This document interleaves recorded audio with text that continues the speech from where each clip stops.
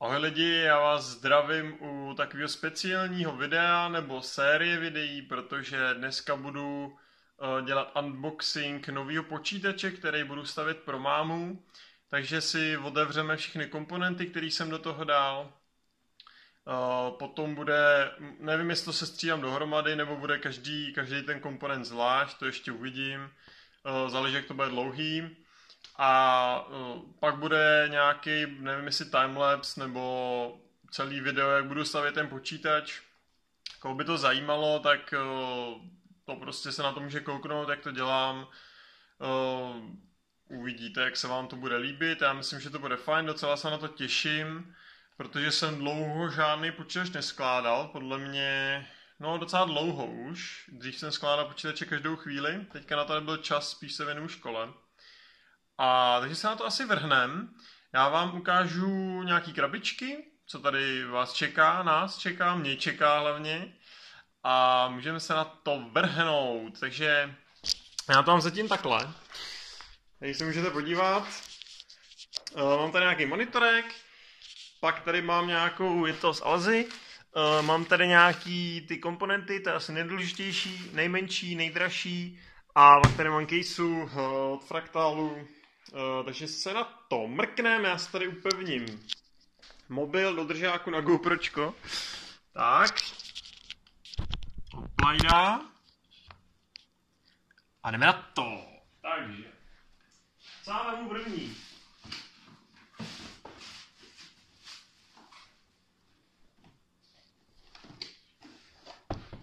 Tak.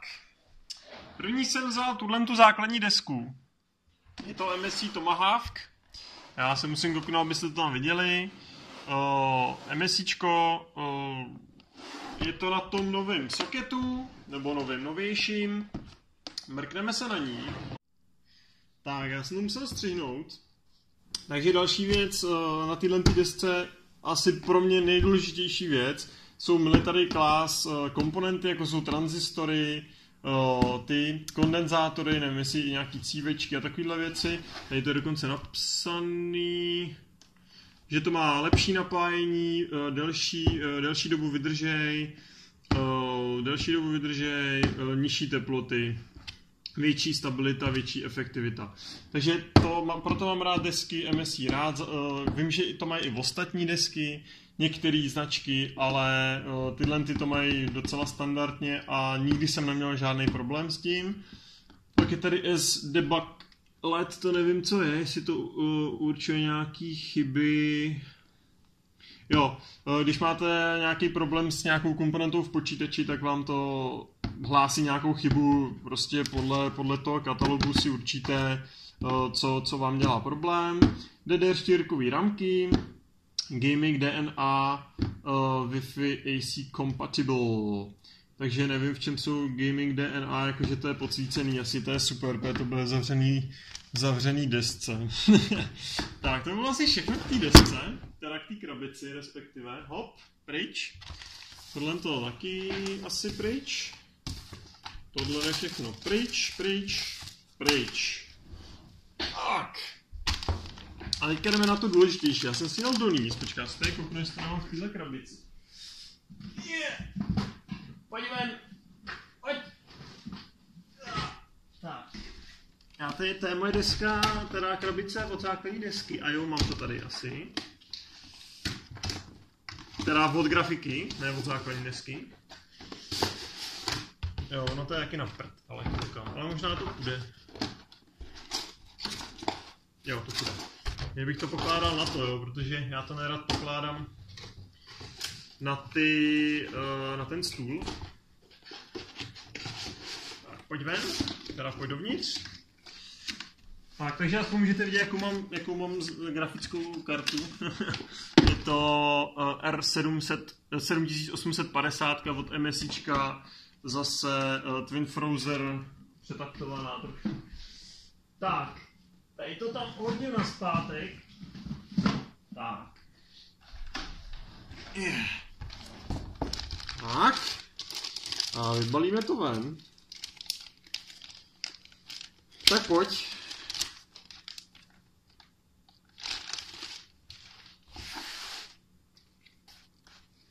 Tak, já vám to ukážu takhle. Takže, tady vidíte tu základní desku, vidíte ji celkem pěkně. Takže tady vidíte ty chladiče těch CMOSů, těch tranzistorů, čtyři sloty na DDR4 ramky, baterčička, PCI Express sloty, nějaký do, další PCI, napájení procesoru, napájení základní desky, kolik to má těch? 6 SATA konektorů, asi 6, no. No, bude to stačit. Pak tady je kabel na USB 3, když ho máte v caseu, nebo dvojku. USB 3 a to je taky na USB 3. Na USB 3, takže to jsou oba. Jinak ta deska je docela pěkná, je taková matná, nevím, jestli to úplně dobře vidíte. Já se na to mrknu, jak vy to vidíte. No vy to moc dobře nevidíte, já tady mám dost odraz ze střešního okna. Jsem si na vás rozsvítil, tady ty zenerky. tak. No, takže deska vypadá poměrně pěkně. My si tady můžeme dát tohle pryč. Remove. Tak. Takže krytka na procesor. Můžeme si to i otevřít. To pak budeme dál dělat až při tom, při stavbě počítače. Takže tam pak budeme vkládat procesorek a to teďka dělat nebudeme, protože nemáme procesor ještě vypalený. Takže tak, jo, tady jsou, jen zezadu se můžeme kouknout, já to přikryju. Ani to nemusím zavírat asi, nechám, no, když já to zavřu. Tak. Co se týče výstupu té desky, tak tady vidíte jeden výstup, to je devejčko tohle, že jo, mně se to plete ty názvy, prostě bílej kabel, bílej konektor. Uh, tady jsou dvě USB trojky, tohle to nevím, co je, to je HDMI, asi jo, jak tam vzhůru nohama. Tady jsou další asi USB trojky, předpokládám, tady je dokonce ta, jak se tomu říká, no na starý ty uh, myši a klávesnice. USB dvojky, tady klasický uh, pětikanálový audio plus nějaký hajzlíček. Lanka, to nevím, co je, hele, tady nějaký tlačítko. To je hustý. Co to dělá? Jo, Clear CMOS, to je super. Tím vlastně dáte eh, BIOS do základního nastavení. Já nevím, jestli vám to ukazuju dobře. Vidíte to celkem.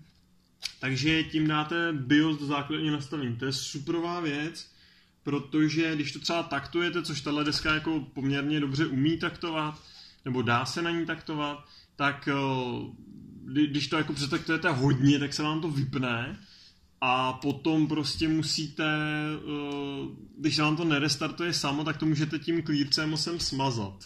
Což je superová věc. Nevím, jestli to dokonce nemá dvojitý BIOS, že by to umělo vlastně uh, jakoby když si ten BIOS pokazíte, takže by vám ho tímhle tím jste si ho mohli resetovat. To teďka nevím teda. Uh, nevím, jak to je ale to se, to, to si, když tak můžete zjistit, kdyby vás to zajímalo. Tak, jinak teda je to, je, označení té desky je teda MSC Z170A Tomahawk. To by bylo asi všechno pro tentokrát, až budu stavět počítač, tak uh, se na ní podíváme z funkčního hlediska, jak se to instaluje.